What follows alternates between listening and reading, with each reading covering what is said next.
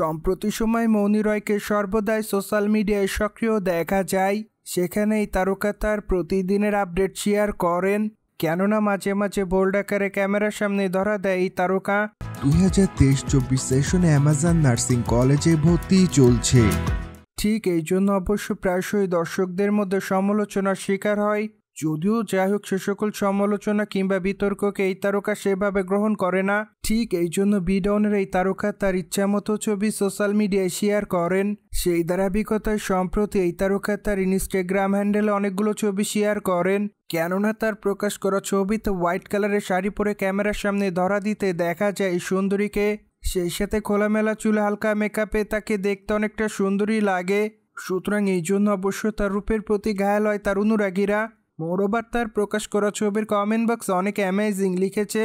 সেই সাথে অনেকে আবার তাকে প্রিটিগাল বলে দাবি করেন, কিন্তু আবার অনেকে অ্যামেজিং লিখেছে।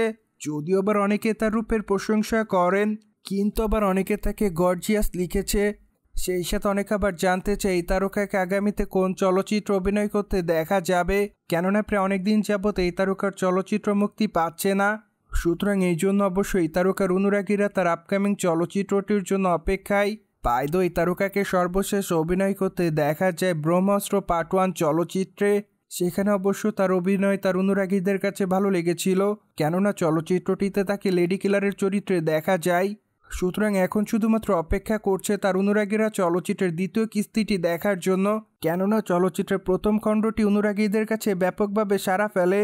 ঠিক এই জন্য অবশ্য আপাতত চলচ্চিত্রের দ্বিতীয় কিস্তির জন্য সকলে অপেক্ষায়।